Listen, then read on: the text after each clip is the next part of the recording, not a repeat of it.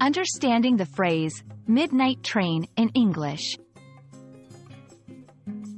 Hello, everyone. Welcome to our English language learning series. Today, we're going to explore a fascinating phrase, midnight train. This term is more than just its literal meaning. It has cultural and emotional nuances that are interesting to learn. Let's dive into the world of language and discover the depths of this expression together. The phrase, midnight train, literally refers to a train that travels at midnight or during the late night hours. It's important to understand the basic, literal meaning before we explore its more figurative uses. Trains are a common mode of transportation and mentioning the specific time of midnight adds a layer of context to the phrase.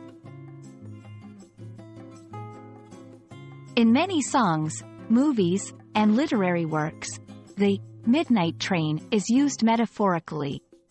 It often symbolizes a journey, escape, or a significant life change.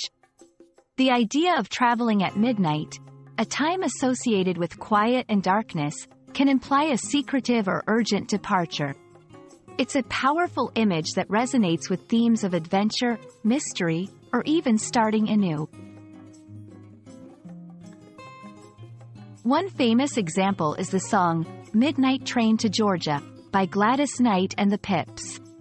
Here, the midnight train is a metaphor for going back to one's roots or returning home.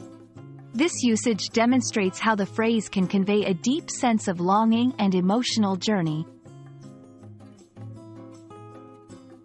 In everyday conversation, you might hear someone say they're taking the midnight train. While they could mean it literally, often it's used to express a desire for change or escape. For example, I'm so fed up with this job. I feel like taking the midnight train out of here, conveys a strong wish to leave a situation. We hope this video has shed light on the phrase, midnight train, and its rich meanings in the English language. Remember, language is not just about words, but the stories and emotions they carry. Stay curious, keep learning, and we'll see you in our next video. Happy learning!